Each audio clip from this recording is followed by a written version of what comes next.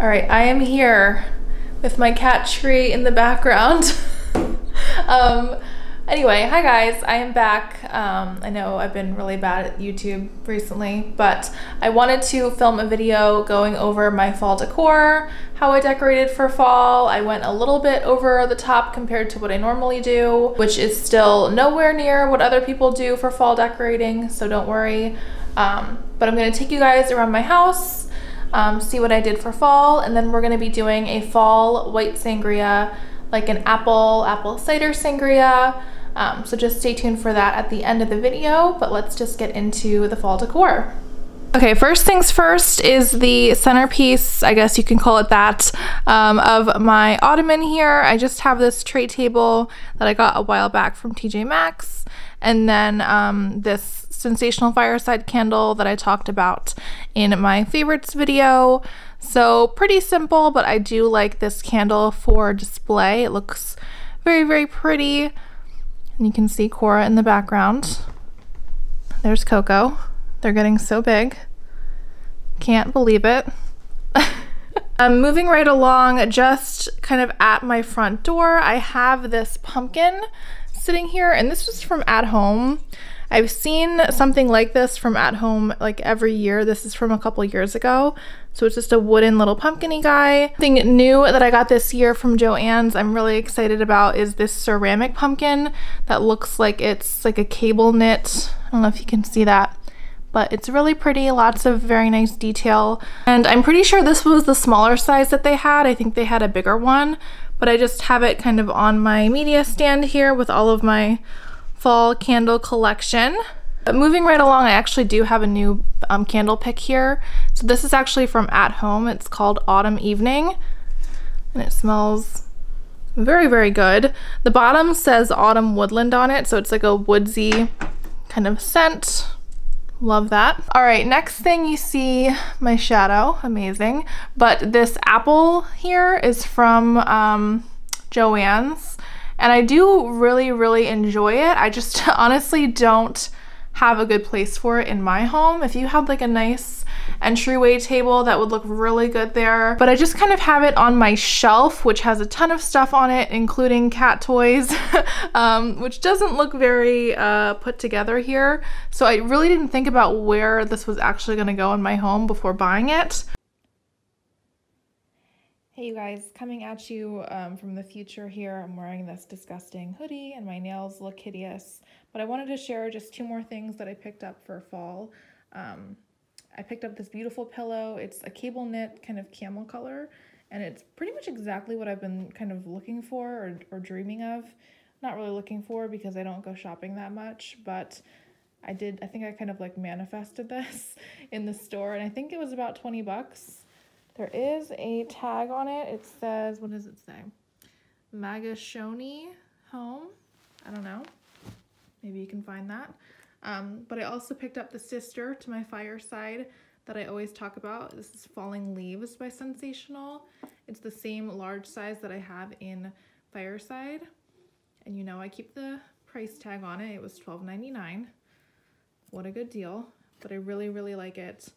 Um, it goes kind of with my taste of like simple, um, I'd call it like an atmospheric scent instead of um, something too sweet or cakey or anything like that. But I really like this candle. I burnt it once, maybe twice since I got it.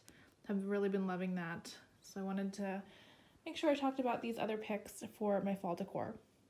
We have this back door here moving on to kind of the kitchen area and I knew I wanted to hang a wreath kind of inside of the window and I definitely accomplished that. You can't really tell. It's like too um, bright outside and dark in my home right now to really see what's going on. But it's just this cute little fall wreath that I got from at home. I'll try to link everything I can here, but I really think it adds something cute to this door here um, that was otherwise kind of plain. But the thing that I'm really excited about is the dining room. I needed to redo my dining room table. Um, so the first thing I'll show you actually are these placemats. I got this set of six from Hobby Lobby um, for a really good price. I was looking for this kind of like natural woven style for a while and I finally found some good ones. I'm gonna sit down for this because holding this freaking camera is so heavy. But what I'm really excited about is this centerpiece. So everything outside of just this center candle and the Hurricane, I think it's called, uh, candle holder, Everything else is from Joann's this year, so it's all new. The old candle, old candle holder in the center is from At Home from a couple of years ago, but everything else is new this year from Joann's. I'm really, really happy with how it came out, if you can see that clearly. All of the foliages from Joann's, and I just kind of cut everything up. So if you can see, there's just some eucalyptus, some more eucalyptus, lots of eucalyptus um, some little berries in there. You'll see a couple of these like little cotton balls, but then some pumpkins and also these really cute wooden pumpkins. Oh, I did take the tag off. Wow. Good job, Valerie. Thought I left the tags on. But um, these are so cute. And I think they had, where were these? There were definitely bigger ones of these. I want to say this was like the mini, I feel like there was like a medium size and then like a large size but these are super, super cute to go in there. And I just feel like it's such a cute um, centerpiece that can be transitioned from season to season. So I can put like spring stuff in there, winter stuff definitely. And the bowl that everything is in is also from Joann's. I feel like it was, I feel like it was pretty cheap. I wanna say it was like $19.99. You know how everything's like 50% off in those stores? but don't quote me on that. I'll find out exactly how much it is. But as soon as I saw the bowl, I was like, yes, this is what I need to do with my centerpiece. And it really came out pretty well. I was gonna film um, making this, but it actually was kind of a pain in my butt because I don't have anything good to cut fake flowers with because there is typically a wire in them. So I was kind of struggling to get the flowers cut off. And then you know you end up like fiddling with it for like two hours to get it right. Um, but all in all I'm really happy with how it turned out and I'm so excited to um, switch it out every season okay so now let's make the fall sangria um, you're gonna need a bottle of white wine. I'm using a sweeter wine that I have on hand, um, Moscato. I think this is from my Bright Cellars box, pretty sure. I also have a hard cider. I'm following a recipe loosely. I'll link it below, but I'm just kind of winging it at this point. I do also have some plain apple cider. And then I have one orange, one green apple, one red apple. We'll see how much of these I end up putting in because my pitcher is quite tiny. And then I have a pear. So I'm gonna get to chopping these and then I will show you assembling everything. All right, I just chopped my fruit. I just did the most fast and loose chop job of my life.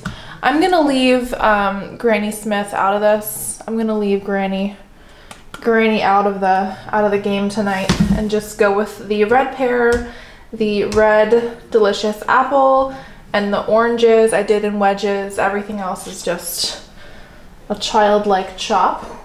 But I'm gonna open up my bottle of wine with my handy dandy wine opener.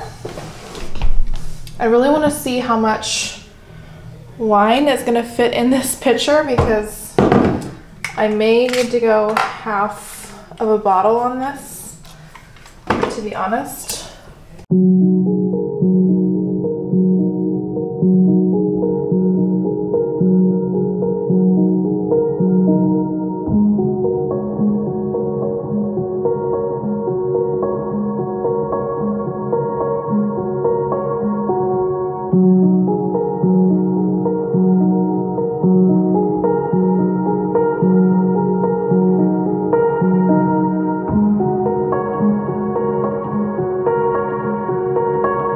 Start seeing where we're at in terms of size here.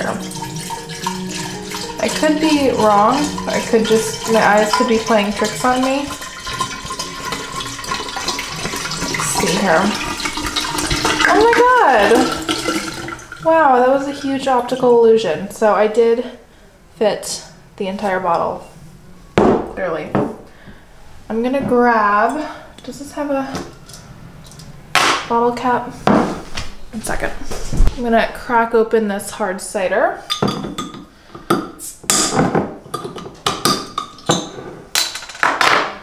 Pop him in there. And that hard cider is pretty tart, so I think that'll give a good balance. I mean, this is gonna be a pretty sweet drink, not gonna lie, but whatever. Um, I'm gonna put about a cup of this regular cider in here.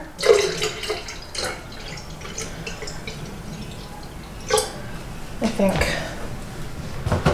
I think that's what I just did. Um, and I'm gonna put the fruit in. The pear I'm gonna hold out and put in my glass just because I don't want the pear to be mushy in my pitcher. But I will put this in and I'm gonna, um, when I pour it into the glass, I'm gonna leave some room and top it with some tonic water.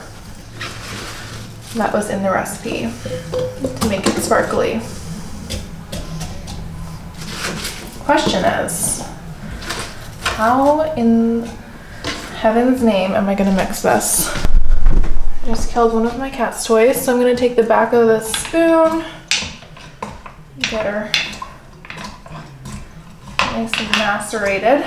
I sure do hope this tastes good because that would be an awful waste of alcohol and juices and fruits. Whatever.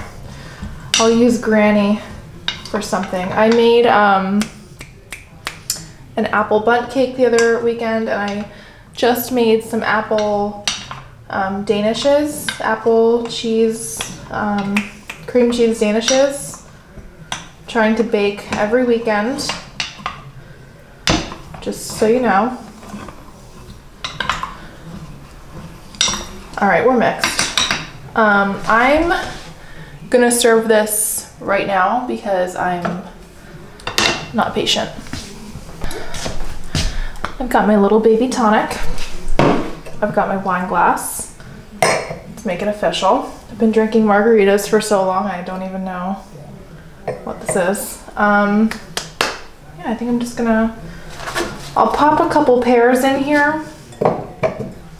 Um, I think the recipe that I am following, in quotes, calls for pear liqueur, or other recipes called for pear liqueur. Um, that'd be a great addition to actually make the pear have a real presence in the drink. But, you know. Whoop. I guess we wanted that. I'm gonna fill it like to there. I'm gonna put some more, pop this random orange in. Some more orange in here. OMG. Why did no one tell me this was gonna be so hard? Let's get some apples. All right, that's decent enough. My orange looks a little bit tattered. Whatever, this is not the Food Network. Okay. Um, and then I'm gonna, where did my little tonic guy go? Oh, here he is. He was hiding from me. So I'm gonna top this. Whoop. Jesus. Top her off. Yes. I don't know. I think that's a good idea. And then I'm just gonna like poke it. AKA stir, if you will. Just so it's not like all tonic on the top. I don't even know what tonic water is, per se. Let's give her a taste. All right, let's give it a try. Presentation is lovely. Great for a party. Not that we're allowed to have those, but whatever. Ooh, that's lovely. I really like this. Mmm. Yummy. The bubbles are key.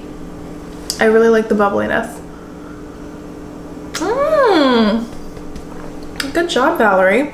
So yeah, I kind of followed a recipe, kind of didn't, um, but I'll list exactly what I did below and the recipe um, that was my inspiration. So cheers. Cheers to fall. Yum, cheers to me.